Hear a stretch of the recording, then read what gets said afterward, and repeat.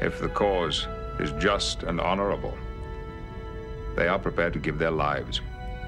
Are you prepared to die today, Tomalak?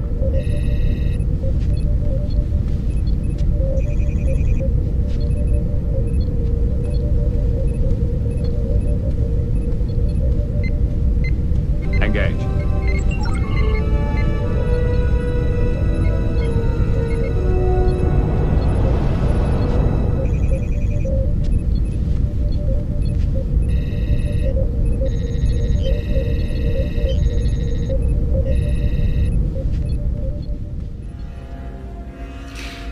There are times, sir, when men of good conscience cannot blindly follow orders. You acknowledge their sentience, but you ignore their personal liberties and freedom. Order a man to hand his child over to the state. Not while I'm his captain.